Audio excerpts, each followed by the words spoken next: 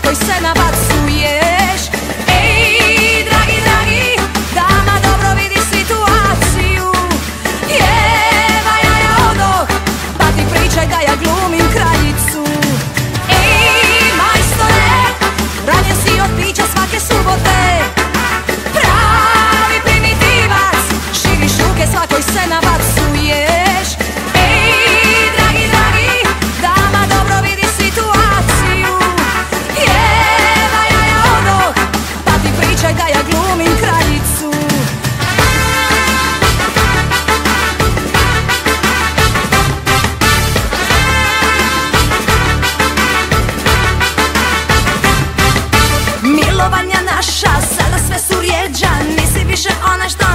leđa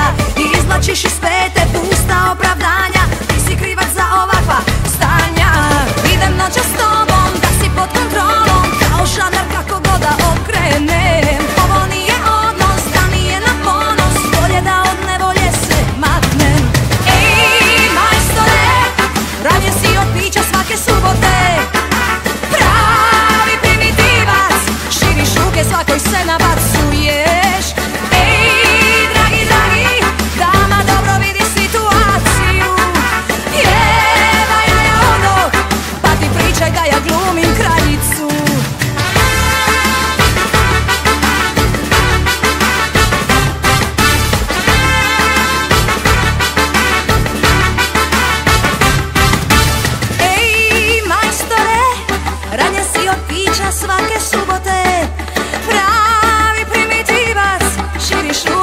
coisa na